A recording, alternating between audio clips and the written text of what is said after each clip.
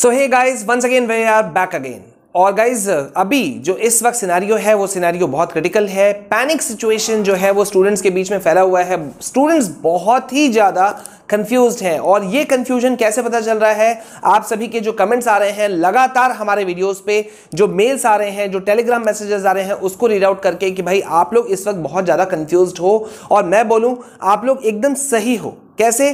क्योंकि सीबीएसई ने कहा था कि भाई सीबीएसई टर्म वन रिज़ल्ट को निकालेगी पहले, और उसके बाद में आएगा सीबीएसई का जो सैंपल पेपर है टर्म टू का, वो आएगा और साथ ही साथ में आएगा सीबीएसई का टर्म टू का एग्ज़ाम डेट शीट भी। लेकिन ऐसा कुछ नहीं हुआ। ऐसा कुछ नहीं हुआ, और इस वक्त एक, आगे बढ़ूं, इससे पहले मेरे पास में एक अजीब सवाल भी है। अभी सवाल ये है, एक स्टूडेंट ने मुझसे पूछा है कि, सर, बहुत अजीब सा सैंपल पेपर आया है। ठीक है, इस सैंपल पेपर को देखा आपने? मैंने कहा हाँ देखा है। 14 15 क्वेश्चंस आ रहे हैं हर पेपर में, हर सब्जेक्ट में। दस, बारह, चौदह क्वेश्चन इसी टाइप के क्वेश्चन हैं और दो घंटे का समय है, चालीस मिनट का चालीस मार्क्स का आपका पेपर है। तो उसने कहा, सर, ये अजीब नहीं लग रहा आपको कि सिक्सटी क्वेश्चन पूछे जा रहे थे डेढ़ घंटा में और अभी तेरह, चौदह, पंद्रह क्वेश्चन पूछे जाएँगे दो घंटों में? Don't you think so strange मैंने कहा, यार, क्या बात सोचा? एक तरह से बिल्कुल जेनविन है। मुझे वो कुछ दिन पहले का दिन याद आ गया जब मैं स्टूडेंट्स रिएक्शन लेने के लिए स्कूल्स में जा रहा था और बच्चे स्टूडेंट्स लड़के, लड़कियाँ रो रहे थे। बहुत लोगों को मैंने लिटरली रोते हुए देखा, जिसमें कि उनका कहना था, सर क्वेश्चंस बहुत लेंदी था। फिजिक्स पेपर में क्लास ट्वेल्थ वालों का आप लोग याद कर लो क्लास टेंथ का आप लोग याद कर लो फिजिक्स मैथ्स अकाउंटेंसी वो पेपर आप याद कर लो। मतलब बच्चे रो रहे थे कि, सर कर सकते थे, लेकिन क्वेश्चन ज़्यादा थे आउट ऑफ़ सिलेबस तो था ही था, और समय बहुत कम था, डेढ़ घंटा का समय बहुत कम था। एमसीक्यू बोला था तो इतना ज़्यादा क्वेश्चन देने की वगैरह की क्या ज़रूरत थी? अजीब लीला है गाइज़ सीबीएसई की। मतलब वो उनके क्या कुछ होते हैं, ये कुछ कहने का समझ में नहीं आया। अभी सीबीएसई के ऊपर, जानते हो आप लोग, गौर करना, क्या प्रेशर था सीबीएसई के ऊपर कि रिज़ल्ट जल्दी से जल्दी निकाले। जब उन्होंने देखा कि भाई हम रिज़ल्ट नहीं निकाल सकते तो उन लोगों ने एक बहुत ही यूनिक काम किया। गौर करो आप लोग। यूनिक काम यह किया कि स्टूडेंट को डाइवर्ट करने के लिए टीचर स्टूडेंट्स सबको डाइवर्ट करने के लिए क्या कर दिया? आनंद फानंद में कल देर रात निकाल दिया टर्म टू का सैंपल पेपर यानी कि आप फंसे रहो, उलझे हुए रहो, परेशान रहो और अपने आप को इंगेज करके रखो और तब तक किसको टाइम मिल जाए? सीबीसी को। सीबीसी को एक टाइम मिल गया अपने आप को पैचअप करने के लिए, अपने गलतियों को कवर अप करने के लिए। टर्म टू का सैंपल पेपर गाइस जिसने भी देखा होगा, उसने एक चीज़ नोटिस किया होगा कि आमतौर पे सीबीएसई ने क्या कहा था? सीबीएसई का कहना यह था कि भाई, आपका जो टर्म टू होगा, वो सब्जेक्टिव बेस्ड होगा। यानी कि सब्जेक्टिव बेस्ड होगा मतलब जिसमें कि शॉर्ट वेरी शॉर्ट लॉन्ग सभी टाइप के क्वेश्चन आंसर मतलब सब कुछ इंक्लूडेड होगा। और एक क्वेश्चन पेपर जो है, उसे माना भी यही जाता है, देखा भी यही जाता है कि सारे टाइप के क्वेश्चन उसके अंदर इंक्लूडेड है।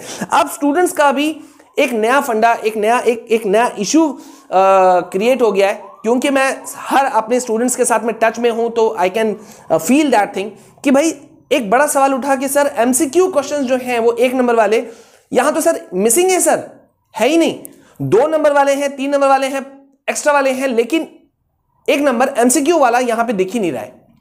तेरह, चौदह ही क्वेश्चन है, लेकिन एमसीक्यू मिसिंग है। तो सर, ये क्यों हुआ, ऐसा क्यों हुआ? स्टूडेंट्स हैं, सवाल है और वैलिड क्वेश्चन है। मैं इस पे एग्री करता हूँ गाइज़ अभी यहाँ पे एक जो अभी कोविड का जो सिचुएशन है, आपको क्या लगता है? मैं आपसे पूछ रहा हूँ। आप लोगों को क्या लगता है? एग्ज़ाम टर्म टू का अगर सीबीएसई लेती है तो कब तक लेगी? कमेंट सेक्शन में मुझे ज़रूर बताना। मैं बताऊँ सीबीएसई का कहना था कि टर्म वन होगा नवंबर, दिसंबर में। ठीक है? सीबीएसई ने उसे शुरू कब किया? नवंबर तीस तारीख से।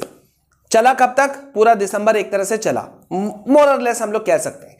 अब टर्म टू का कंडक्शन अगर आप सब ये सोचते हो कि उसका कंडक्शन मार्च में हो पाएगा जैसा कि सीबीएसई के सर्कुलर में था कि मार्च अप्रैल में होगा अगर आप ये सोचते हो तो मुझे लगता है आप सब लोग बहुत गलत हो। टर्म टू का कंडक्शन मार्च के बीच में नहीं हो सकता जिस तरह का सिनारियो है नहीं हो सकता। अचानक से कोविड धड़ाम से नीचे गिर जाए एकदम केसेस खत्म हो जाए तो भले ही हो जाए लेकिन उसके चांसेस पॉइंट भी नहीं है। क्योंकि कल का न्यूज़ मेरे पास में एक आ, मैंने पढ़ा कि अमेरिका में एक दिन में 10 लाख केसेस निकल करके आए कोविड के। Can you believe that thing अगर हम पिछले 24 घंटे की बात करें तो 2.65 लाख जो है वो केसेस है इंडिया में। 27 परसेंट का इंक्रीज देखा जा रहा है। इसका मतलब क्या हुआ कि आपके टर्म टू के एग्ज़ाम्स जो होते हैं, वो होंगे कब तक? वो कंडक्शन होगा उन एग्ज़ाम्स का मार्च के एंड में, आप कह सकते हो। मुझे तो लग रहा है मार्च में भी नहीं होगा। मार्च के एंड लास्ट वीक में होगा। शुरू होकर के अप्रैल पूरा जाएगा। लेकिन इसमें प्रॉब्लम किसके लिए क्रिएट हो रहा है? प्रॉब्लम क्रिएट हो रहा है उन सभी लाखों स्टूडेंट्स के लिए जिनको अपने फ्यूचर को आगे रखना है जिनको अपने फ्यूचर पे काम करना है। इशू वहाँ से क्रिएट हो रहा है पता है? अब आप सोचो कि अगर आपका सपना है जेई नीट वगैरह एग्ज़ाम्स को क्रैक करने का तो स्टूडेंट यार पढ़ेगा कैसे फ्री और पहले बात पढ़ाई हो, हो, कैसा हो रहा है? ऑनलाइन एग्ज़ाम पे ऑनलाइन क्लासेस पे बेस्ड हो रहा है, ठीक है? जहाँ अभी क्लासेस चल भी रहे हैं तो अगर आप गौर करो, उन क्लासेस का स्थिति क्या है? किसी भी स्टूडेंट को पूछो, मैंने बहुत स्टूडेंट से इस बारे में बात किया, आप लोग भी कमेंट सेक्शन में मुझे बताओ। सबका कहना है, सर, एकदम फास्ट वे में कंप्लीट हो रहा है। मतलब ऐसा लग रहा है जैसे गाड़ी दौड़ रही है। तो मतलब एक चीज़ मेरे समझ में नहीं आया। एग्ज़ाम पास करवाना है या नॉलेज देना था बच्चों को? वैसे गाइज़ मैं आपको बताऊँ सीबीएसई का कहना है अभी भी, पता है क्या? कि टर्म टू का जो कंडक्शन है, वो ज़रूरी नहीं है कि सब्जेक्टिव ही हो। जैसा कि बीच में निकल कर क्या था एग्ज़ाम पैटर्न के बारे में, कि सब्जेक्टिव ही होगा, ऐसा ज़रूरी नहीं है। हो सकता है, हो सकता है कि ऑब्जेक्टिव भी हो। मतलब everything will depend upon the corona cases covid का सिचुएशन क्या होगा, इसके ऊपर डिपेंड करेगा। ऑब्जेक्टिव होगा या सब्जेक्टिव एग्ज़ाम होगा, अभी फ़िलहाल के लिए सब्जेक्टिव क्वेश्चन सैंपल पेपर निकल गया है और उस पर हमें चलना भी होगा, लेकिन ये अभी भी शक के दायरे में है। वैसे गाइज़ मैं आपको बताऊँ, अभी एक और एक एक एग्ज़ाम्पल ले लो। लखनऊ लखनऊ यूनिवर्सिटी का मैं आपको एक एग्ज़ाम्पल दे रहा हूँ। वहाँ एग्ज़ाम चल रहे थे।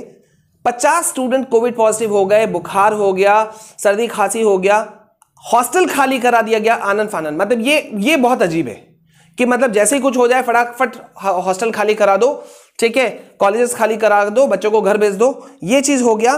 पंद्रह से इकतीस जनवरी तक की जितने भी एग्ज़ाम थे, उनको पोस्टपोन कर दिया गया है सारे चीज़ों को। और वैसे गाइज़ आपको याद होगा, मैंने आपको एक अपडेट दिया था कि ए के टी यू यानी कि Abdul Kalam APJ Abdul Kalam technical university जो है, वहाँ पे भी ऑनलाइन एग्ज़ाम कर दिया गया है। महाराष्ट्र में भी वहाँ के जो एजुकेशन जो मिनिस्टर हैं, Uday Samant sir higher education minister उन, उन्होंने भी महाराष्ट्र में जितने भी यूनिवर्सिटीज़ हैं प्राइवेट कॉलेजेस हैं कॉलेजेस हैं, सारे एग्ज़ाम्स को ऑनलाइन कर दिया है।